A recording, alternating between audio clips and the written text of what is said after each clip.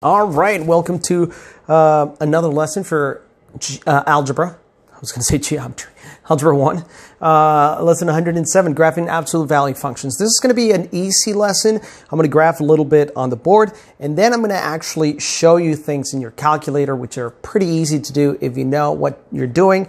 And so, um, yeah, let's get into it. Uh, it does have four examples, but Again, I'm not going to make it so repetitive. I'm going to give you general guidelines so that you can follow along and understand what we're talking about. But this is actually pretty easy. So let's actually get into the lesson of graphing absolute value inequality. Uh, not inequality, sorry. Absolute value functions. Okay, not inequality functions. My bad. Okay, let's get into it. Okay, so the first example is let's graph the parent function. The parent function means the function that is the simplest of that type. And so the simplest would be f of x equals absolute value of x, okay? Don't be like Joshua, 1 times 1. It's not 1 times 1. It's absolute value of x, right? And so, and here what we're going to do is put x and y. So x and y.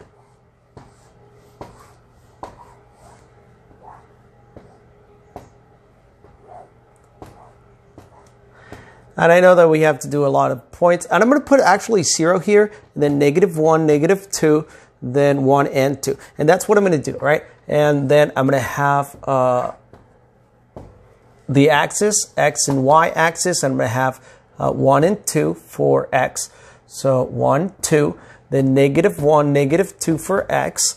And for y, let's see what we need. So the first thing that we're going to do is put negative two in here. Okay, so we put negative 2 here. What is the absolute value of negative 2? The absolute value of negative 2, meaning the distance from negative 2 to 0 is going to be 2 because distance can never be negative. So it's going to be 2.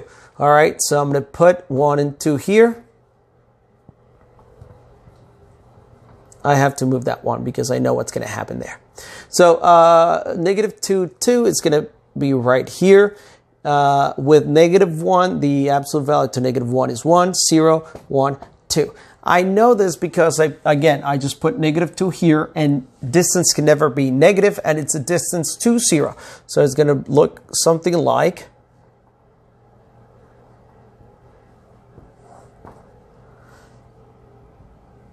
Oh, straight line. Beautiful straight line, obviously. Victory. So uh, we have a V, kind of like a V shape, and that would be the absolute the graph for absolute value function. And it is like that. It has to be like that. It's something that bounces. It can never be negative. Um, well, it can be. Ne- How to explain this? It will always look like this. It will never be bouncing downwards, I think, unless there's actually a negative in front of the absolute value sign. Okay, and that is example four. But for now, think about it that it always is going to look like a bounce. It's going to look like a straight bounce. By the way, the bounce could be narrower or it could be wider. All right, so it could be wider, it could be narrower, but it's going to look like a bounce. Okay, uh, and yes, there's actually the upward bounce, but we will talk about that in a little bit. Uh, but that is the first part of of this lesson, of lesson 107, absolute value functions.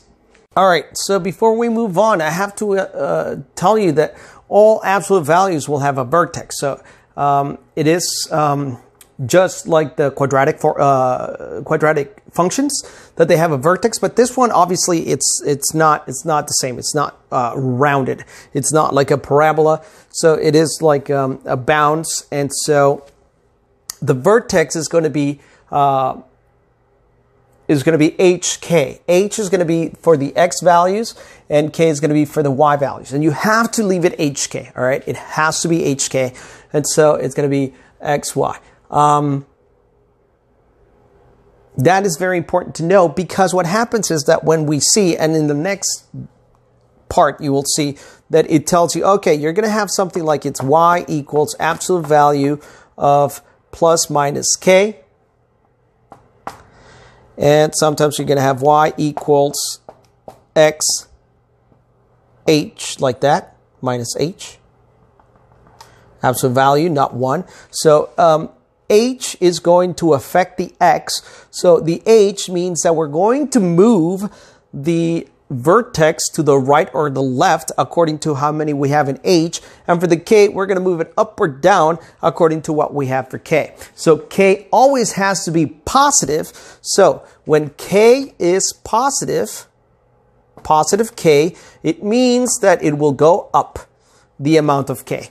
If k is negative, the graph will go down. The vertex, the vertex will go down. Okay, so the vertex, the point where it bounces, is going to go down according to k. If it's up, it's going to go. If it's positive, it's going to go up. If it's negative, it will go down.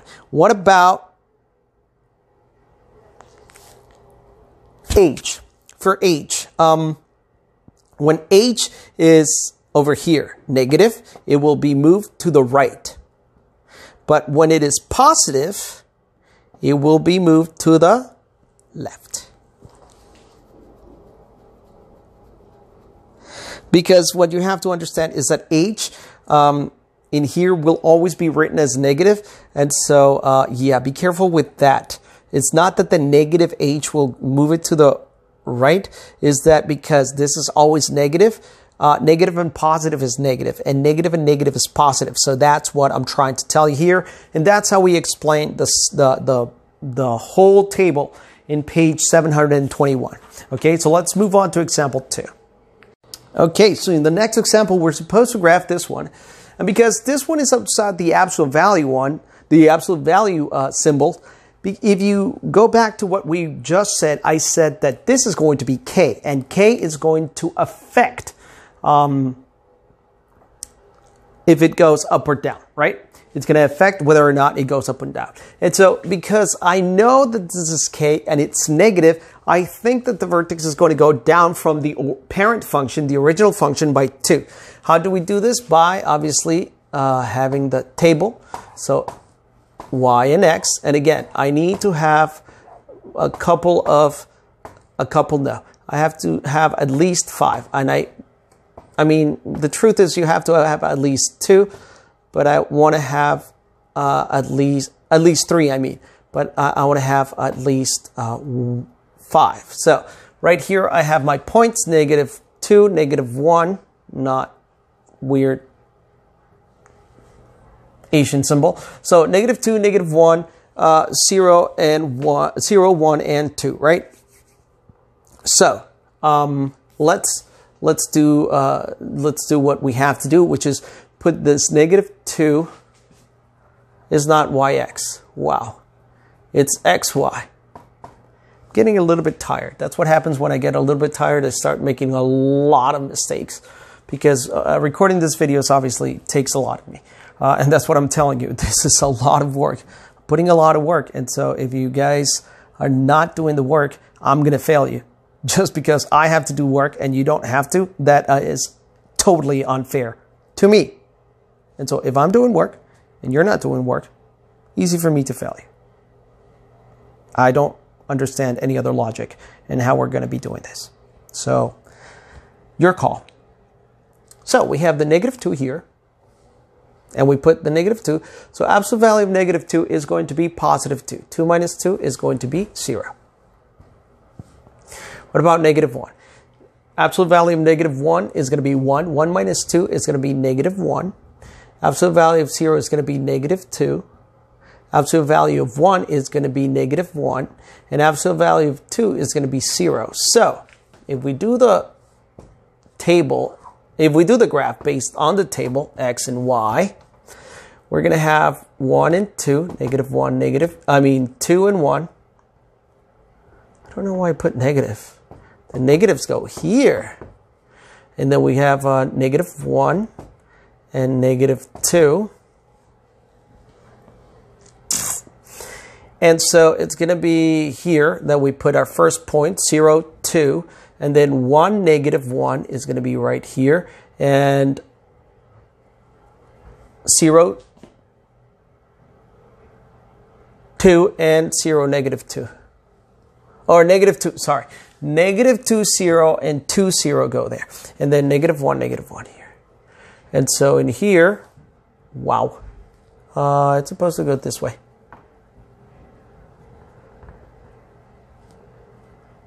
Um, I guess I can move my 1. There you go. I moved my 1. Uh, and so it's right there. And for here, it's going to be this way, and boom. I told you from the beginning, you see negative 2. It went down by negative 2, and that's what you have to understand. That every time we have a number outside the absolute value, it will switch the vertex up or down according to what the overall value is. So now let's move on to the second part of example number 2. All right, the second part of example number 2 for lesson 107 will be absolute value of x plus 3. So this function of the absolute value of x plus 3. Because it's inside the absolute value symbol, I know that this is h, and h is supposed to be negative. So because it's positive 3, I know that it will be to the left 3 units. Again, how do we do it? With a table, x and y. I'm not going to make the same mistake I made before. Yay, I'm learning. And so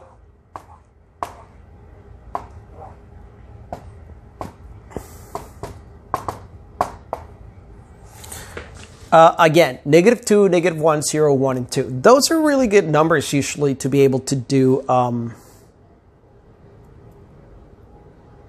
the table. But I just realized that I made a mistake. And my mistake was that I know my vertex is going to be at negative 3. So all these points are going to keep on going up and up and up and up and up. And so I need to actually find points to the left of negative 3 and to the right of negative 3 for the x value. So I have to rewrite my values of x for my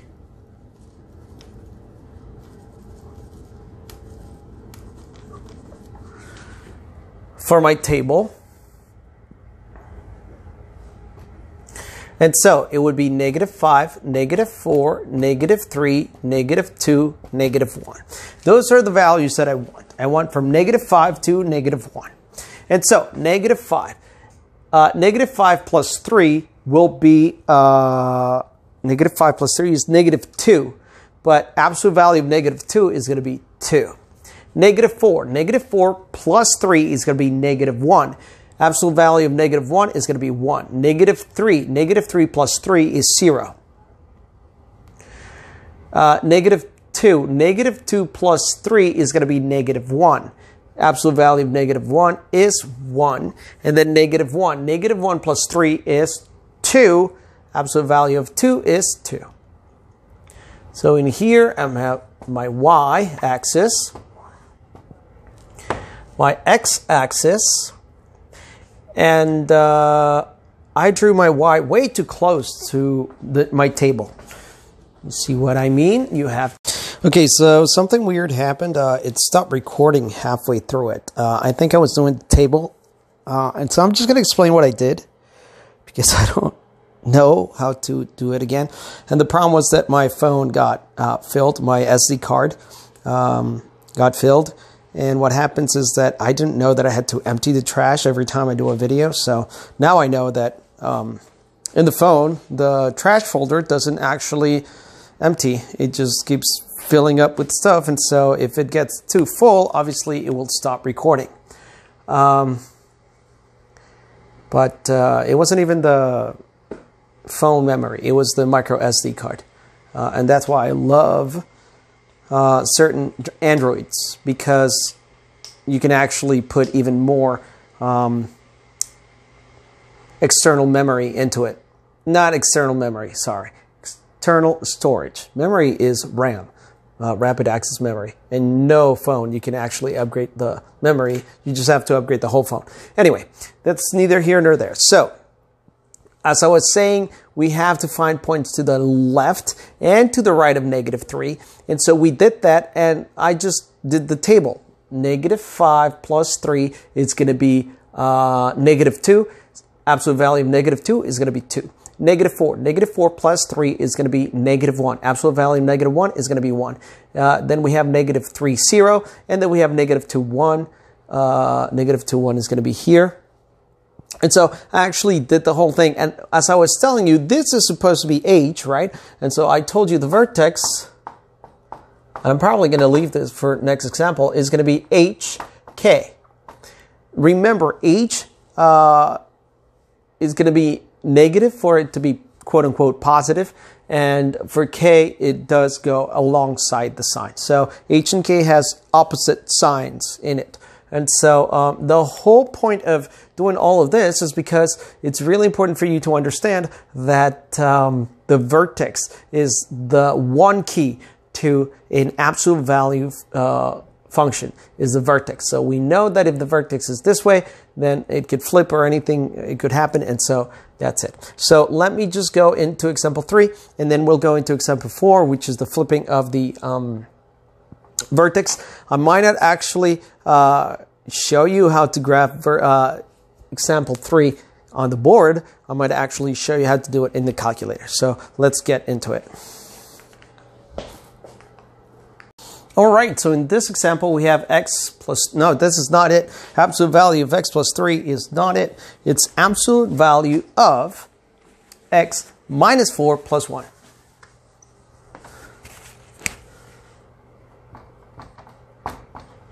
Okay, so uh, minus 4 plus 1.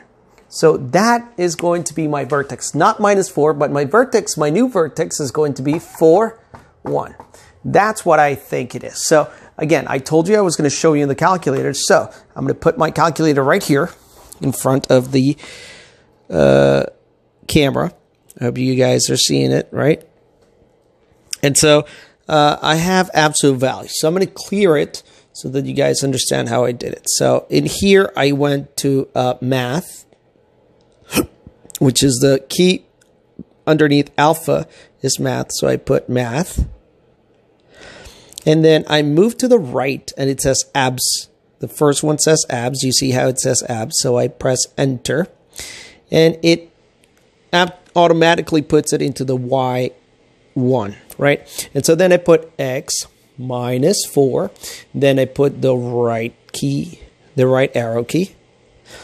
And I put plus 1, right? So in here you see absolute value of X minus 4. Uh, plus 1, right? So then we're going to zoom, uh, zoom 6, which is zoom standard, and it is going to graph. Oh, look at that. It graphed. And so how are we going to find the vertex? Well, the vertex we can find in many ways, but I'm going to do it the easiest way. I'm going to put the little uh, table. And so to get table, I get second graph, and it's a table. And so I said that my vertex is at 4, 1. So if I go at 4, look at that, 4, 1. Uh, let's see. Are you looking at the four? It's kind of weird. Four one. Uh, in the bottom, you can see x equals four, y one equals one, and then if you go up and down, it's different. So once you actually do this in your calculator, you'll see what I mean. But it's pretty easy, and and the vertex is actually four one. So let's actually move on to when we flip the the graph. Uh, because of something that happens. Okay, so let's move on to example number four. Okay, so before we actually get into example one, I mean four, I don't know why I said one, we have f of x equals a absolute value of x. So this a is going to be outside the absolute value. And what it means is this. If the a is positive, then the graph is going to go upwards. Like um, in a parabola, uh, the A determines whether it's going to be happy face or, or, sad face. The same thing happens here. So positive means upwards, uh, negative means downwards. And so the other thing that is very important is that if A is less than 1, less than 1 means if it's a fraction or if it's a decimal that is less than 1, meaning 0 0.5, 0 0.8, 1 third, 1 half, something like that what happens is it's going to be narrower. What do I mean by narrower? It's actually going to close upon itself. It's going to be way closer, kind of like making this literal almost V. And so it, it becomes really, really, really narrow. The smallest the number is, the narrower it is. But if it's greater than one, it will become wider okay, it will become like wider, like it will almost touch sometimes the x-axis. And so that's something very important. And again, because I showed you in your calculator, I want to show you again how to do it in calculator if you already know how to do this because I think this is actually pretty easy. And so let's actually do it in the calculator. So I'm gonna I'm gonna actually going to go back into the book with the calculator like I did uh, once. So let's get into that.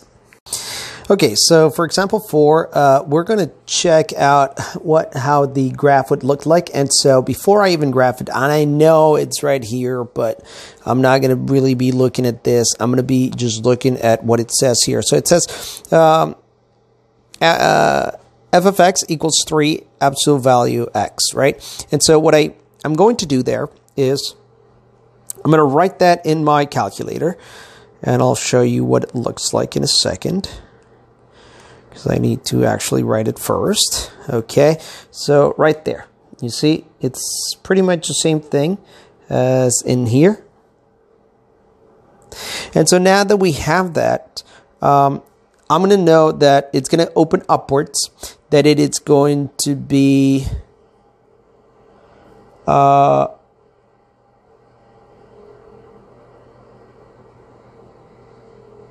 opening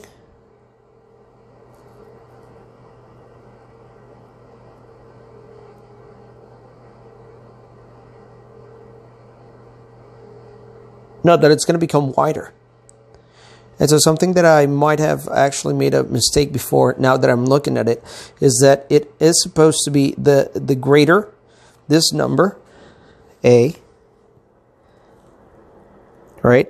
The greater A is, the narrower it's going to get. And the smaller A is, the wider it's going to get. So what I wrote on the board before, it's not right. So if you are not looking at the at the video and paying attention, you're going to miss that because what I wrote was wrong. Maybe it's a test, huh? It's a good test right there. Maybe I should do that. Maybe I should upload videos and like be like giving you questions, and then uh, people will be like, "Whoa, what are you doing? Why are you answering random questions?" Like in the comments section or something of the video in YouTube, and then that way I'll know that you guys are watching them and that you're paying attention. Maybe I should do that. That would be great. Anyway, uh, so in here you'll see that this is the graph and it is really close to the graph that I have here. If I move my book, it's really close. And so because it's three, it, becomes start to become narrower. So uh, if you look at my fingers, it becomes narrower. And that's what I'm trying to tell you. It becomes narrower because of that. And so that is example uh, 4A. And then for example 4B,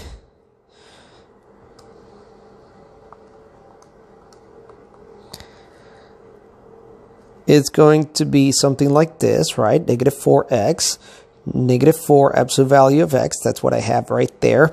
And so I'm going to graph. And look at that. It's actually opposite. It's actually um, reflected upon the uh, x-axis.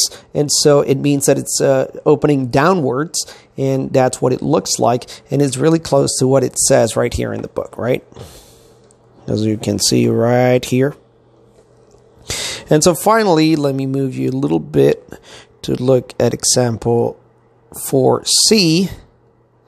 We have negative 0.2 absolute value x.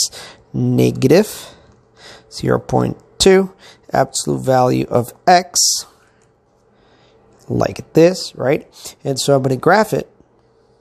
And you see, because 0.2 is really a small number, it opens up wider. So what I wrote on the board is the opposite of what it is. So what I'm going to do is, uh, if you have any questions, I will write or something, but let me know if you get this far into the video and if you have any questions about it. Uh, you can comment in here or you can comment in the um, Google Classroom where I put uh, videos. You can actually uh, ask me questions about that. But that's pretty easy. And so this is going to be uh, it for lesson 107. So I'll see you tomorrow with uh, lesson 108, which is going to be the last one for my for our third week together of doing this. So uh, yeah, um, have a good one.